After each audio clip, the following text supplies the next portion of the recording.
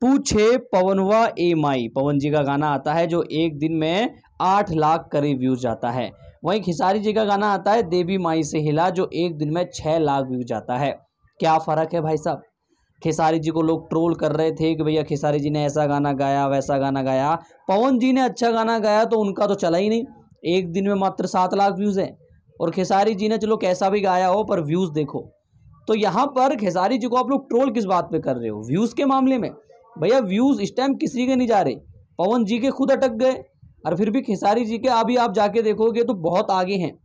तो देखिए जितने भी लोग खेसारी जी को ट्रोल कर रहे हैं उनके गाने को लेकर, के देवी माई से हिला। तो भैया, वो गाना बहुत बढ़िया है। बस जो सुन रहा है ना, उसकी सोच गंदी है। ठीक है? सुनने वाले की सोच गंदी है, गाना भक्ति गाना है और कहीं ना कहीं बेहतरीन है गाना। लेकिन कुछ लोगों को आदत है कि ज़बरदस्ती ट्रोल करना, ज़बरदस्ती बुराई करना, ज़बरदस्ती की एक तरीके से ये मान लो खेसारी जी को बदनाम करना। तो गाना बढ़िया है, ट्रोल मत करो, थोड़ा सा कुछ हो सकता है, बट गाना बेहतरीन है। आप लोग क्या सोचते हैं कमेंट करके बताएँ